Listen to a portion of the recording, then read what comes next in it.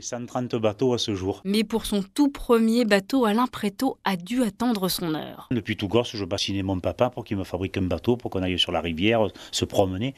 Et comme je n'étais pas une lumière à l'école, le deal ça a été ramène-moi des bonnes notes et on fabriquera le bateau. Ben, le bateau, je l'ai fabriqué à 19 ans, donc les notes sont restées derrière. Aujourd'hui, 130 Neguchin à son actif. Autant dire qu'Alain Préto sait y faire. En 30 petites heures, le tour est joué et voilà un nouveau bateau sur pied. Un bateau à fond plat, il fait 5 mètres de long, il est étroit, il fait 53-55 cm de large. Les bouts relevés et bien sûr, il euh, faut être un peu funambule pour y tenir dessus. Mais une fois l'équilibre trouvé, le bonheur est à portée de main. Quand on est sur un éguetine et qu'on pratique sur la sorgue, on est un homme libre. On est en communion avec la rivière. Alors pour perpétuer la tradition de fabrication de ces bateaux, Alain Préto et sa confrérie ont tout prévu. On a un jeune qui a une trentaine d'années, Austin Pekele.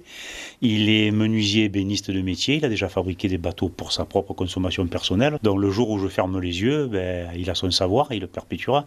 Mais si d'ici là, quelqu'un est intéressé, qui a vraiment le tissu rivière et qui a envie d'apprendre, je suis là pour lui passer la main sans souci. Voilà pour la relève. Alors si vous vous prenez d'amour pour le Neguchin, vous trouverez Alain Préto, fidèle au poste, dans son atelier de l'île sur la Sorgue.